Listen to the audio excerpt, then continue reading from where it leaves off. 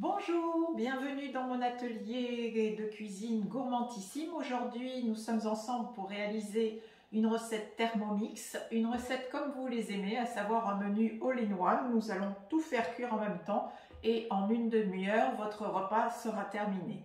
Et en plus, ce sera un repas gourmand comme d'habitude.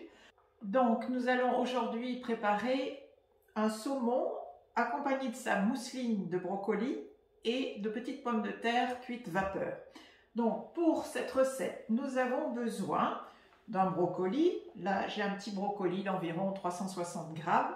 Nous avons besoin de beurre. Je ne vous donne pas le grammage parce que nous verrons tout à l'heure comment calculer le poids du beurre par rapport au poids du brocoli.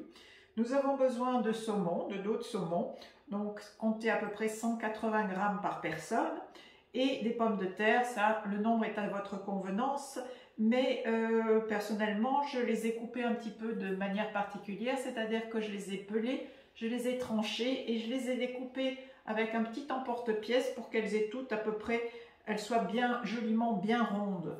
Donc, vous avez besoin éventuellement d'un petit emporte-pièce, mais si vous n'en avez pas, ce n'est pas grave, vous coupez votre, vos pommes de terre en petits dés. Et nous allons réaliser une petite vinaigrette que nous allons servir avec le saumon par la suite. Donc là, vous avez besoin de 20 g de soja sucré, 10 g de vinaigre de riz, le jus d'un demi-citron vert et le zeste du citron vert. Nous allons le réaliser, ce zeste, grâce à une petite râpe magique qu'on appelle une râpe microplane que vous pouvez acheter sur Internet. Et elle vous fait des petits zestes très rapides et surtout hyper fins. Donc vous avez juste à passer la râpe sur le citron, à votre râpe, tapoter, votre zeste tombe dedans. Et nous allons ajouter à cette vinaigrette une petite gousse d'ail également. Donc pareil, vous épluchez votre gousse, vous n'avez plus qu'à la râper.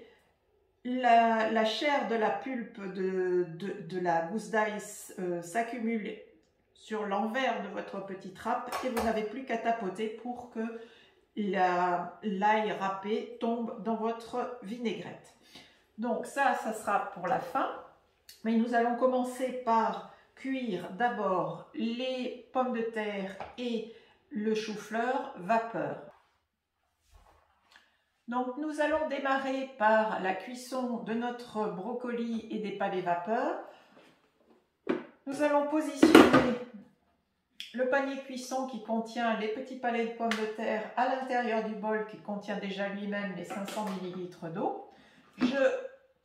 Le varoma, le couvercle et le varoma par-dessus. Je vais verser mon brocoli dedans. Il est coupé très grossièrement. Donc je vais programmer 25 minutes, mode varoma et juste vitesse 1.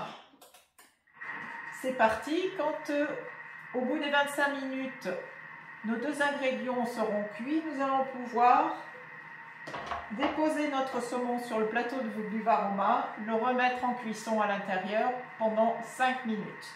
Donc je vous dis à tout à l'heure, donc ça sera pré-cuit.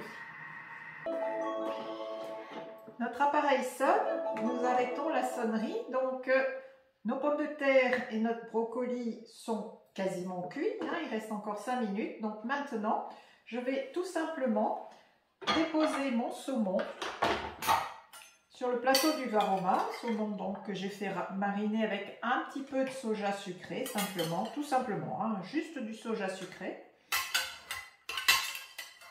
Donc je le positionne sur le plateau, bien joliment. Voilà.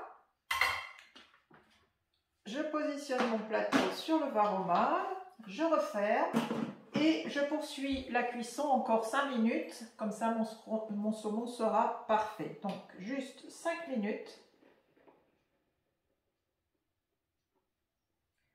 Je remets Varoma et donc de nouveau vitesse 1. Et dans 5 minutes, l'ensemble sera prêt. Donc il ne nous restera plus qu'à réaliser la mousseline de brocoli avec un petit peu de beurre salé et un petit peu de poivre. Je vous montrerai comment tout à l'heure quand ce sera terminé. A tout de suite. Et voilà, la cuisson est maintenant terminée. Nous allons donc récupérer en premier notre saumon. Donc faites attention quand vous ouvrez de ne pas vous brûler avec la vapeur. Donc on réserve notre saumon de côté. Nous allons récupérer également nos brocolis qui sont là et les pommes de terre. Donc pour les pommes de terre, nous aurons besoin de la spatule. Je viens chercher ici, grâce à la petite encoche, le panier cuisson, comme ça je ne me brûle pas. Voilà. Et il ne me reste plus qu'à vider l'eau de cuisson. Pourquoi? Parce que je vais après remettre et peser les têtes de brocoli pour pouvoir les mixer avec une certaine quantité de beurre. Donc, attendez-moi, je reviens tout de suite, je vais vider l'eau. Donc, nous allons maintenant peser nos brocolis. Donc, nous allons partir sur le mode balance. Je n'ai plus qu'à verser mes brocolis dans la cuve nous en avons 389 grammes, donc nous allons dire 390 grammes. Donc pour cela, nous allons rajouter 5% de leur poids en beurre, donc on va dire 400 grammes pour faire un contron, on va rajouter 20 grammes de beurre. Donc je fais ma tare et je rajoute 20 grammes de beurre dans la cuve.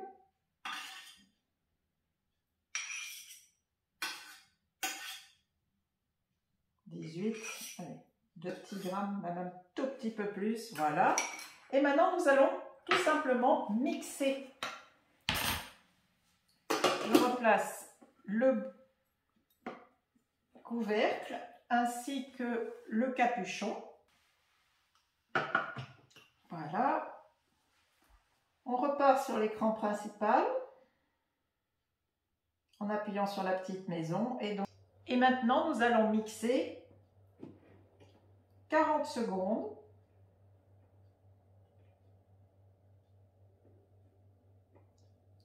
Vitesse 10.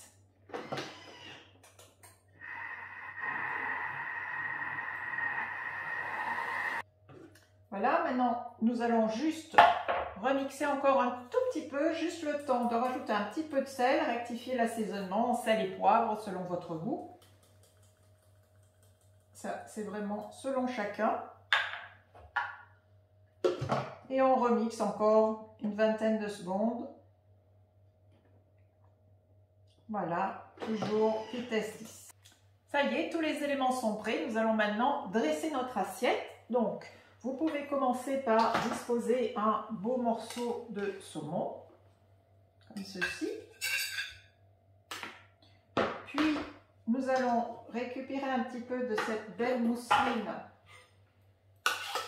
de brocoli une jolie cuillère que l'on va mettre sur le côté de l'assiette.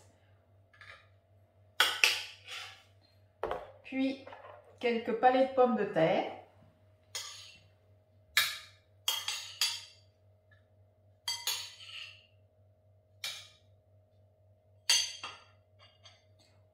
il ne reste plus qu'à verser un tout petit peu de vinaigrette et de saupoudrer avec un petit mélange, juste graines de sésame et quelques arbres que vous, euh, algues que vous trouvez également en épicerie asiatique ou au rayon asiatique de votre supermarché. Et voilà, notre saumon brocoli pomme de terre avec sa petite sauce asiatique est terminé. Je vous souhaite un bon appétit, régalez-vous, à bientôt.